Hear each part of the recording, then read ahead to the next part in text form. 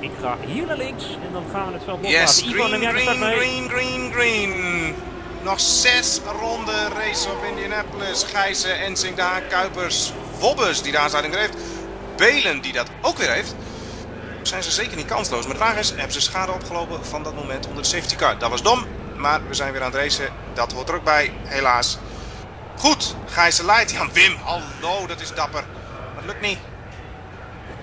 Ja, Jan Wim heeft het mes tussen de tanden hoor. Goedemorgen. Maar Gijzen laat zich niet in de luren leggen. Kuipers en ook de Haan loeren Oh, misschien op een foutje gecrashed. van deze twee. Maar u is weer gecrashed, maar laten we gewoon doorgaan. Maar Hu staat wat mij betreft gewoon in de pitstraat. Dus dat gaat goed. Dan heeft hij direct opgegeven. Eh, nee, even in mijn ogen eh, ging hij net eventjes eh, weer de baan op op een of andere manier. Ik zag niet hoe dat... hoe dat Het staat echt stil. Dus Ja, ik zag hem net even spinnen. Maar misschien was het een foutje bij mij. Maar ondertussen ga ik me richten op het gevecht vooraan. Heel Want goed. 1, 2, 3, 4, 5 aan kop aan staart. En het ligt zo'n beetje allemaal naast elkaar. Oh! Oh, dan gaat het fout. Oh, dan gaat het weer fout. Ja, dat is zonde zeg. Ja, dat moet... Is Kunnen dit ze door? car, jongens? Ja, ze gaan doorgaan. Oh, ze gaan door. Ja, maar Wobbes is kapot. Wobbes is stuk. Maar het is de vraag of hier de safety car voor naar buiten moet komen en de race moet onderbreken. Want dat zou zonde zijn. Dat gaan we dus ook Echt niet gewoon niet ver doen. meer. Nog vijf rondjes. Toch makkelijk dat je als commentator en eh, safety car bestuurder in heen. Dan bepalen we gewoon zelf. We willen show zien. Dat betekent dat we gewoon doorgaan. Precies. En de kopgroep die bestond uit vijf man is, of zes man zelfs, die is nu gerealiseerd, of vier. Ja, dan komt toch de, komen toch de zenuwen van Wester Wobbers een beetje kijken. Zonde, misschien had hij lang op bed moeten liggen, dat weet ik ook niet. Maar eh, dit was jammer, had niet gehoeven. Maar vooraan gaat het gewoon door. Jan Wim Ensing aan de leiding voor Juri Gijzen en Giel de Haan. En Bram Belen is erbij. Daar is hij Nou, hoor. Bram, jij had onder de safety car een probleempje, maar hij is er weer. Ja, en ook Giel de Haan is er weer. Was hij kansloos met eh, dat hij in de kopgroep, eh, of tenminste in de tweede groep en daar koploper was. En eh, zich waarschijnlijk opfrapt dat iedereen zoveel naast elkaar aan het rijden was. En daar is hij, rijdt gewoon op plek 3, nu op plek 4 omdat hij wat te wijd gaat. Maar dit kan natuurlijk ook tactiek zijn. Komt wel hoog daaruit. Ik weet niet of hij daar de muur raakte. Maar dat is wellicht wel wat hij wil. Hij wil niet nu aan de leiding rijden. Hij wil nu op plek Oh, 4 Belen gaat wel Belen heel gaat wijd. En daar is Ja, Giel de Haan er al voorbij. plaats die voor Giel de Haan. Maar die moet toch wel haast gaan maken, want Ensing en Gijzen gaan er vandoor. Dit is tactiek. Dit is tactiek. Giel de Haan die eh, een, eh, met eh, heel veel tempo nu het slipstream wil volgen.